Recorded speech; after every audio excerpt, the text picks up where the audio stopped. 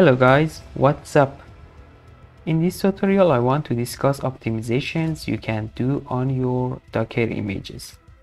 In the past videos we dockerized our Django app and now we want to squeeze those images with Alpine distributions and the multi-stage build technique. First we will check our previous images size. Then we're going to use Alpine distribution and rebuild our images. After building the images, we will check their new size. Then we are going to use the multi-stage technique and create our images by using two stages.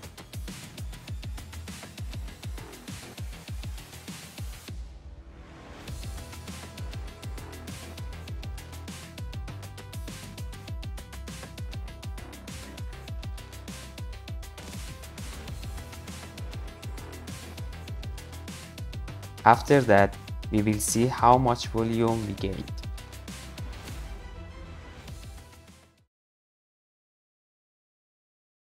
Okay, now let's start the tutorial.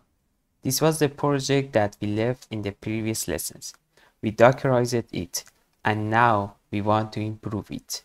First, let me change docker compose file so that we can build images locally.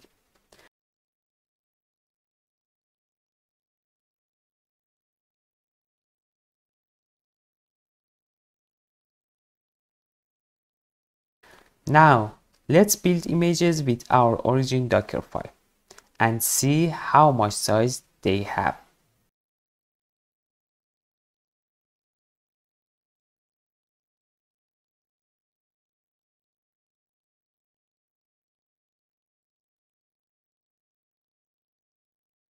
You can see that our APIs work correctly.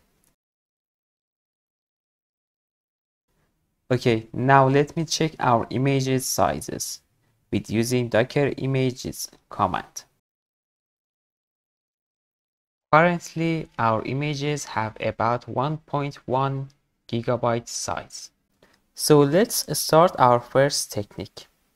In this technique, we will use Alpine distribution as our base images.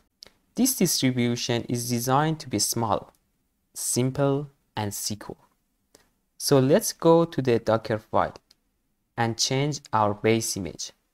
Then, because we change our OS, we need to change our installation command. I will install only packages that our Django app needs.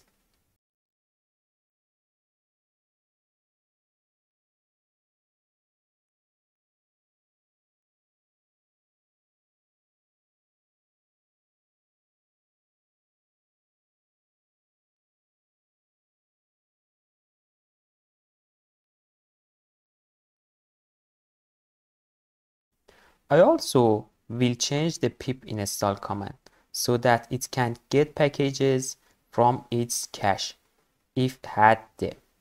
Now let's rebuild our images.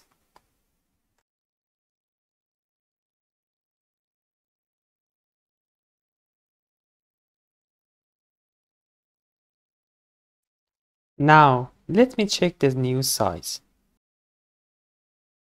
As you can see, we gained about 400 megabyte just by changing the base image to Alpine distribution.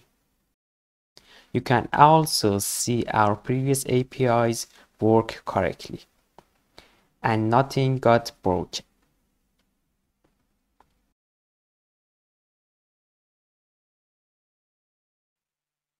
Now let's start our advanced technique.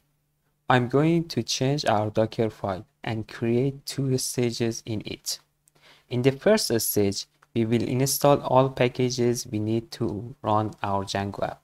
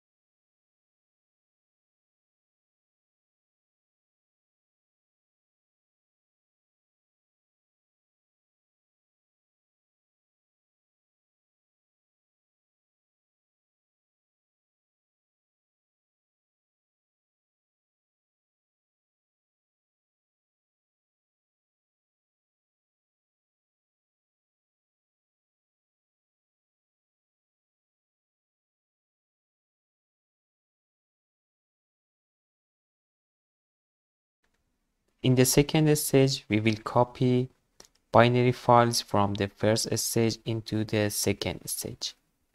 These binary files are usually placed in a specific path, but sometimes we need also install manually some packages. These packages usually related to the OS, not Python pip packages.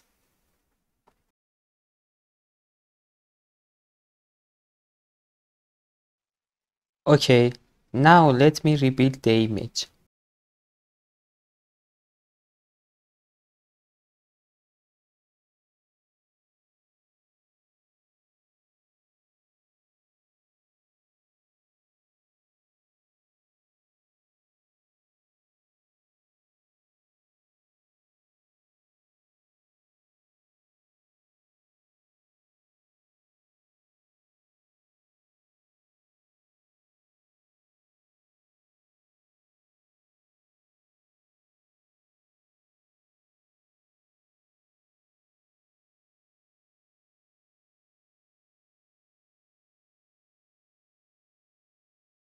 After fixing some typos, eventually we built our image.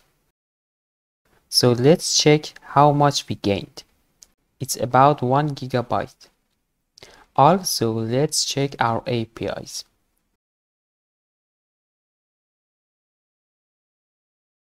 As you can see, our APIs work correctly.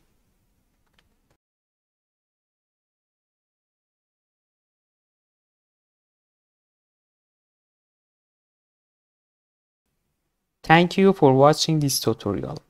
I hope you liked the video. If you liked it, please give a thumb up to it. I will create more videos in the next days. So please hit the subscribe to get new videos.